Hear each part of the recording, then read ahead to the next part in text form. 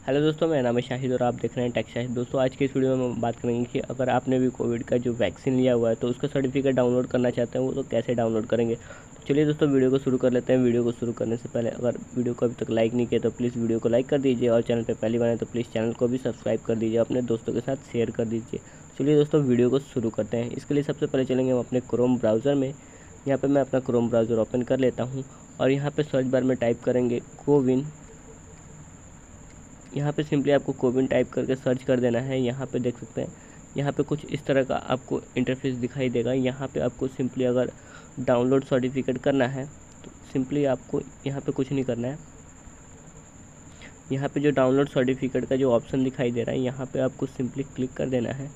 Click करने के बाद यहाँ पे आपके सामने कुछ इस तरह का इंटरफेस दिखाई देगा। यहाँ पे जो आपका मोबाइल नंबर जो दिया था आपने, वो यहाँ पर डाल देना है। मैं यहाँ पर डाल देता हूँ। यहाँ पे मैंने मोबाइल नंबर डाल दिया और यहाँ से सिंपली गेट ओटीपी वाला जो ऑप्शन है यहाँ पे क्लिक कर देंगे।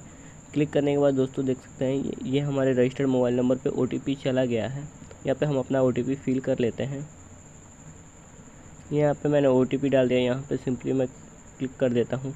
और यहाँ पे देख सकते हैं ये मेरे जो ये जो मेरा सर्टिफिकेट है ये मेरे दोस्त का है। यहाँ पे मैं आपको डाउनलोड करके दिखाता हूँ।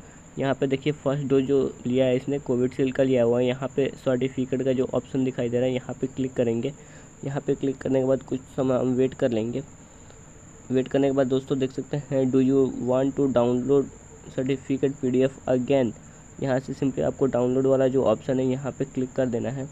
क्लिक करने के बाद दोस्तों देख सकते हैं, ये जो है हमारा डाउनलोड हो चुका है। अब सिंपली मैं इसको आपको ओपन करके दिखा देता हूँ। आपको ऊपर के राइट साइड में क्लिक करना है। यहाँ पे क्लिक करने के बाद दोस्तों, देख सकते हैं डाउनलोड वाले ऑप्शन में क्लिक करना है और यहाँ पे सर्टिफिकेट जो पीडीएफ है, यहाँ पे क्लिक कर देना है और यहाँ से पीडीएफ में आपको ओपन कर देना है। दोस्तों, देख सकते हैं ये जो है मेरा डाउनलोड हो चुका है। दोस्तों, अगर वीडियो अच्छा लगा तो वीडियो को शेयर कीजिएगा।